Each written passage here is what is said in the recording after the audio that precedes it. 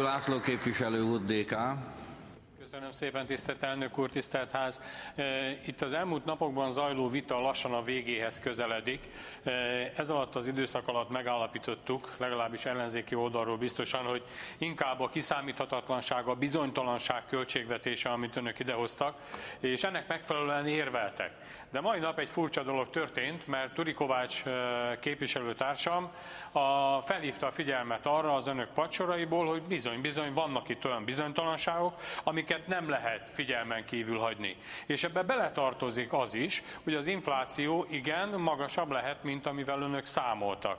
És éppen ezért, miközben államtitkár úr eh, szakmai alapon és igazán eh, értékelem, hogy igyekszik megvédeni mindazt, amit eh, előterjesztettek, de önmagában az egész úgy, ahogy van, védhetetlen.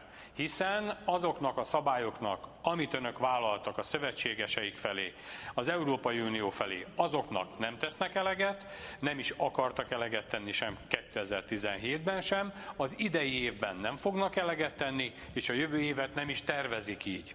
Na most ehhez képest mindenképpen ki kell térni arra, hogy a saját szabályaiknak sem felelnek meg, hiszen, eh, hogyha itt most már a képviselőtársamtól idézett számok alapján, igen, az infláció is meghaladhatja a 3%-ot, akkor önöknek a stabilitási eh, törvény alapján elő kell venni, és át kell tervezni.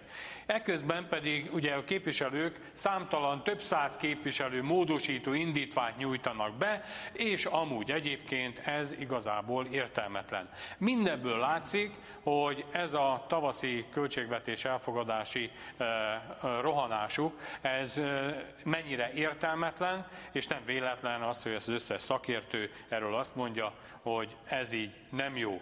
Én továbbra is azt mondom, mondom, hogy vonják vissza, és ősszel terjesszenek elő egy új költségvetést. Köszönöm szépen. Köszönöm szépen.